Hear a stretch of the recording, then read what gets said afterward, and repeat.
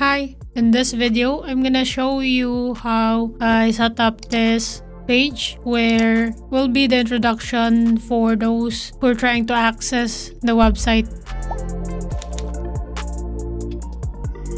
So I set this as the home page and the way this will work is if they are logged out, there's two buttons, um, get started and already have an account. The get started, it will point them to uh, create your page um, pop-up. This is actually a pop-up. You can easily exit that if you click that close icon.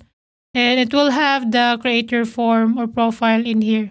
Right now, I disabled the registration of this page. But if you enable yours, it will allow you to set up some form in here. Or else, maybe your registration is a paid version. So you want them to point to maybe a checkout page with WooCommerce and have it work that way. If they already have an account, they can click this. Again, this is a pop-up.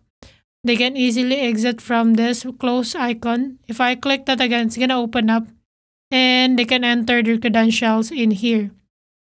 Um, there's also another button at the top pointing to the sign up page. This kind of mimic to what Duolingo have um, at the time of when I built this website. So I'm gonna show you how I have set that up we have different pop-ups. We have login and register. Um, ignore the module lock and report form because we are using that on the um, lessons page. Um, that's why when you set up a pop-up, it should be not set to the entire site. But in my case here, I just enable the entire site because this is for testing purpose only. But when you're setting up your pop-up, only enable it to your page where you need that pop-up so that it doesn't confuses you or give you lots of list when you're trying to navigate through it.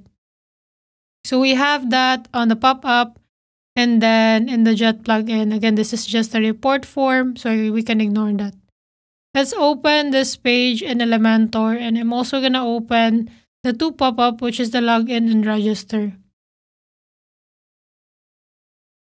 So this is the page under Elementor and we have different buttons and different message here. So we have here a heading for those who are not yet signed up or signed in. And it says only show this, and I'm selecting the heading, only show this if the user is not logged in. So we're using the dynamic visibility from Jet Engine. Next is the I already have an um, getting started so this is the getting get started button. It's pointing. So that's just a Elementor button. And the link, it's open. The action is open a pop-up and then it's gonna open that register pop-up that we have set up with Elementor. So again, if this is your button, you just need to change this to dynamic tags and there should be an option if you are in the paid version of Elementor. Action is pop up and it will allow you to search for the available pop-up that you have in your website, the one that you have set up. So I'm just going to remove that because I already have my pop-up set up here. So if I'm going to go back to Elementor, under Elementor templates pop-ups. So this is where I have my lesson completed, report form, and those register and log in as well.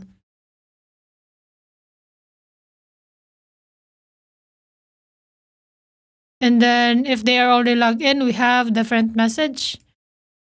So again, we're taking advantage on the dynamic visibility of Jet Engine. So this is when the user is logged in. The same for this go to your dashboard button. We are only showing that once they're logged in.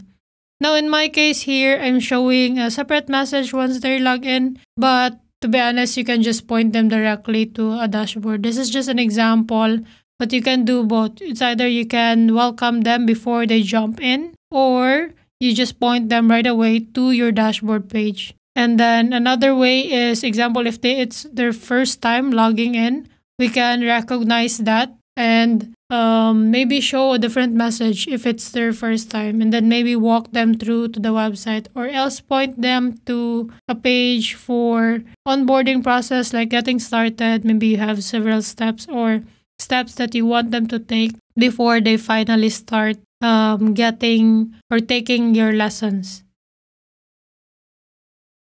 so now let's check the pop-up that I set up for the login. So as you can see, if I change um, view the settings, it's the width is 100% view width, so it's 100% from left to right. And then the height is fit to screen. You can also customize this like 100 view height. Should be exactly similar. Okay. And then current position is top. So that's what we have. And then we have the close. Um, in this design, we also have a button on the right side. And the button, we point it to open that um, registration one. So that's why. We have the vice versa. So that's for the login page.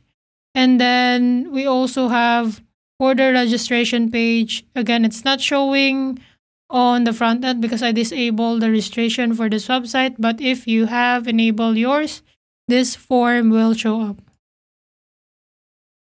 So I'm using the, wait, by the way, for the login form, I'm using the one, the default from um, Elementor. So if you have the Pro, it includes the login widget, this one. This green one is coming from CrocoBlock. So you could use whichever works for you, but for this demo, I'm using the login form from Elementor.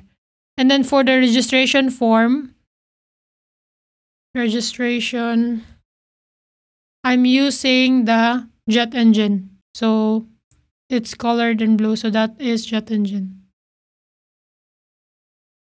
So yeah, so that's how this page is set up. And I hope this video helps. I'll see you in the next one.